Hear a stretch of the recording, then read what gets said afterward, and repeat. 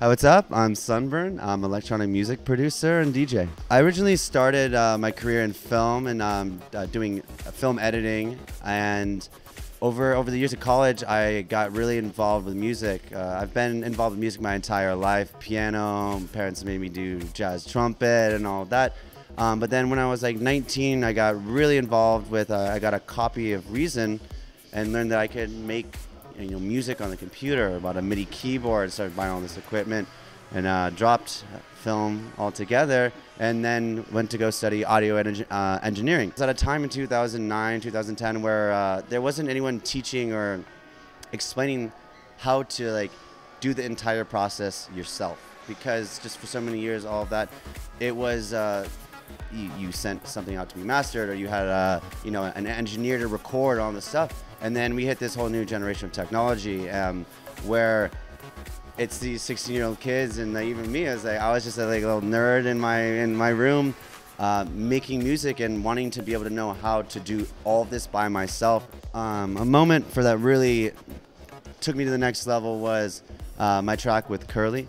And um, say one probably one of the scariest moments in my life is that I was like 20, 23, 24, and I had never like been in like an actual studio studio that someone was paying for. So uh, they're like, okay, there's this Estonian like pop star, like let's get you in the studio and like make it happen. I was like, of course, yeah. And then I get there and there's like all these people around and um, no pressure, just make a hit. And I'm like freaking out, like, how what do I do? Like, and she's just it's amazing. Like just like don't worry. And um, then Don Diablo, uh, another uh, from Holland, really great guy, he comes in and he's like, "Yo, let- let's take a minute and um, let's go outside and chill." And he's like, "You're stressing, man." He's like, "You're really stressing."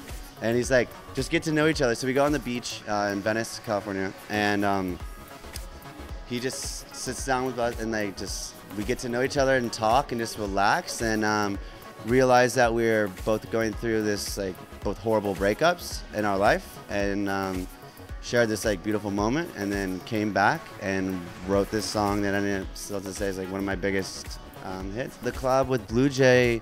Uh, it came together about almost a year ago. So I was I was here in Miami, and uh, they had this remix of "I Remember" uh, Kaskade that no one had. Like found on some little low key blog, and like, "Who are these guys from San Francisco?" All that. I played. I remember like I played it at Ultra, and then the next day they uh, they hit me up on Twitter like, "Oh my god, dude! Like thank you so much." And then we stayed in contact for for a while, and uh, I was working on the song with uh, Cara, and I was like, I'm gonna hit these guys out. I think they can. And also like as well too. I was like, what program are you guys working with? Because like I'm I'm all I was all in Logic. They're like, oh, we're in Ableton, all of that. And uh, one of them's in Canada, one of them's in San Francisco. So like, okay, there's gonna be a lot of bouncing back and forth. Like we never actually sat down together. So I was like, I'm gonna learn Ableton in two weeks and see how this goes, just so that we can bounce it back and forth with Splice, which is a, a, it's like a like a service, whatever that allows you to then it's like Dropbox for sharing projects. So we're bouncing these projects back and forth, and I'm like, I learned Ableton just so we can do that. And as the first project, I was like, hopefully this works out. And like, I'm like calling and texting. I was like, guys, like, how do I how do I re-delete this? like, just basic. And finally got the hang of it, and um, it, like took, it took like three months, and we just kept on going back and forth, back and forth, and then with anything, with any piece of art, like you have to know when to call it. And we're like, okay, it's done. Like, okay, do we like it? And then like you sometimes you get so close to it that like you're also almost sick, and we're like, like, do we like this? I, I got, we got to separate. And then we started, I started showing it to people, and everyone's like, oh my god, like, what is this? And I was like, I don't know. this just kind of happened. and yeah, I don't like to do remixes of tracks that everyone's already remixed.